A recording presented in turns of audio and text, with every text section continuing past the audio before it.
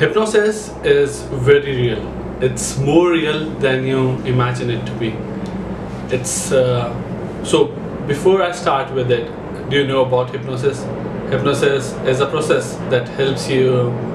Well, it's a bit difficult to try to tell what hypnosis is about because everybody has different meanings um, given to it, and uh, everybody knows hypnosis uh, from a different point of view to me it's a very funny thing and it's a very experimental thing as well. So yeah. Um, today's um, uh, subject or discussion or talk that I want to give you is about using using hypnosis for the physical mastery right? We always you know we all face situations um, where we have issues like body image where we think we are not too confident maybe you know we don't like certain part of our body. Perhaps um, we want to enhance some part of body right?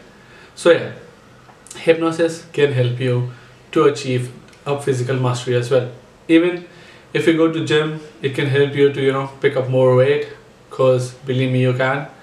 And if you do some other physical exercise perhaps you are in sport if hypnosis can help you. It's already been used by athletes top class athletes and many gymnastics to achieve a better productivity and a better outcome. Hypnosis is for everybody and you can do it as well. It's a bit easy.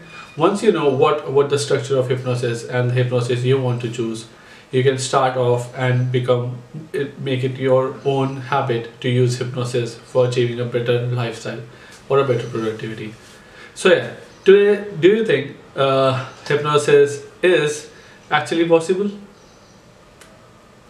I'm sure you do because once you try it you will see the results and you will you know come to realization that you can use hypnosis in every day to achieve your physical mastery.